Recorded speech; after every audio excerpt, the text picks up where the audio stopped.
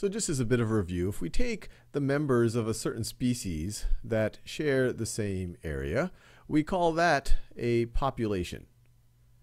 Population. All of the organisms in this particular population will be members of the same species. There could be other members of that species that aren't in that same area, and they wouldn't be a member of this particular population. And a certain area won't have just one or doesn't tend to have just one species in it. So we could call this population one.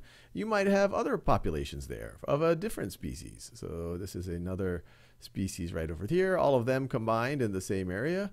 We could call this population, population two. And if you take and we could obviously have many more populations there. And if you take all of the populations in a given area, and you, uh, you could, there's flexibility on how you define that area or define that region, you take those together. So you're really taking all of the living things in a certain area. We call that a community, the community of populations. Now, the community only consists of living things, the biotic factors. So let me write that down biotic. Biotic referring to the living things in a certain area. But if we want to think about not just the living things, but also the non-living things in that region, so I'll write abiotic. Let me do that in another color. So let's take out let's take the abiotic factors or the abiotic environment. And once again, we're sharing the same region and that is flexible on how you define that region. You put all of these things together, and then you get your ecosystem. Your ecosystem, once again, it could be a very small region, it could be a very large region, but it's made up of all the living things, the biotic factors, and the non-living things, the abiotic factors. Now, what we're going to think about in this video is just the types of ecosystems that you might have, think a little bit about it, and also begin to think about how the, the different factors uh, interact with each other, how there's a conservation of matter, where within an ecosystem, matter tends to go from one form to another.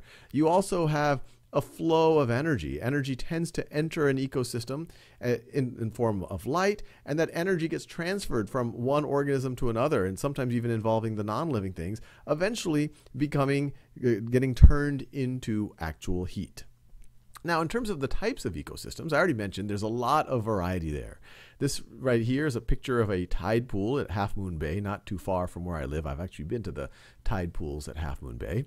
And you could consider one particular tide pool, you know, both the abiotic factors, the water and, and the rock there, as, long as, as well as the biotic factors, the starfish, uh, the, the sea anemones, and, and, and whatever else might be living there. Those combined that could be an ecosystem. You might get, say that the entire beach is an ecosystem. You might say that the entire region is an ecosystem. Once again, it depends on, on how much you want to zoom in or how much you want to zoom out.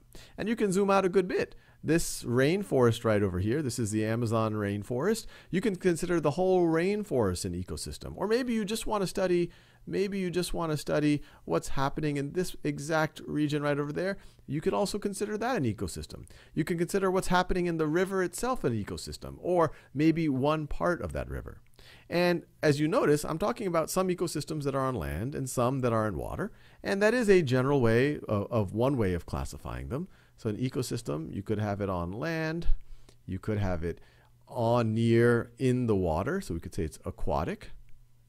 And then even within aquatic, you can have ones that you have salt water or partially salty water, and these are called marine. And the main marine ecosystem, we're thinking about the oceans and, and things like that. And then you have freshwater ecosystems. Like if you are in the upper Amazon, that is freshwater that is flowing. So we could say fresh, fresh water, non non-salty water. And even though it looks like rivers are big and there's a lot of fresh water around us, obviously we need fresh water to live, most of the aquatic ecosystems are marine, are not involved freshwater. Freshwater is a very small subset.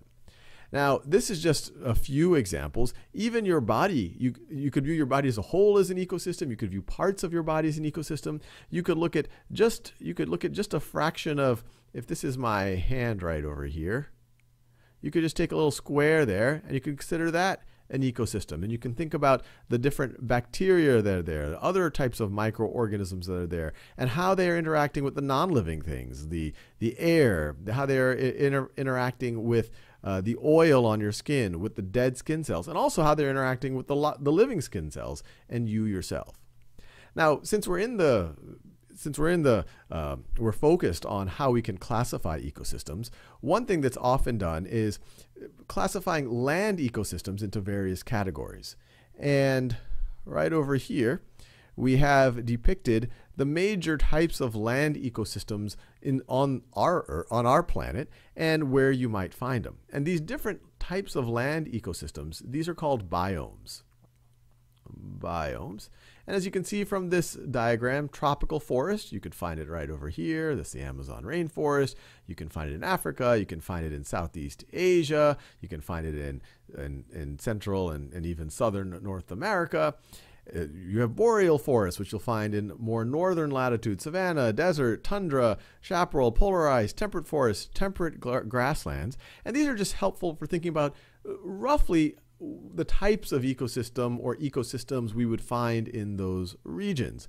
And it's typically most determined by temperature, uh, moisture, the climate both actually the climate and the terrain and the types of minerals that you would find there, that tends to be a pretty good indicator for for what it will be like, what the life would be like. But even with that said, there could still be a lot of variety. For example, the Sonoran Desert, that is right over here in the southwest United States and the northwest Mexico.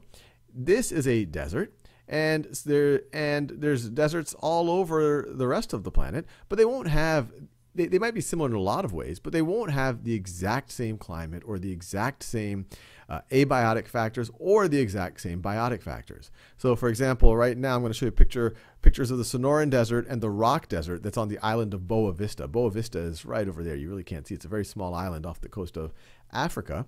And as we see in these diagram or in this picture, you don't have to be an expert to recognize that, okay, these are both deserts. They both look dry. There's not a lot of water here but they are also very different. The Sonoran Desert looks to have uh, at least a lot more life than the Rock Desert have here. It's appropriately named the Rock Desert because it seems, at least to the naked eye, it looks like all you can see is rock.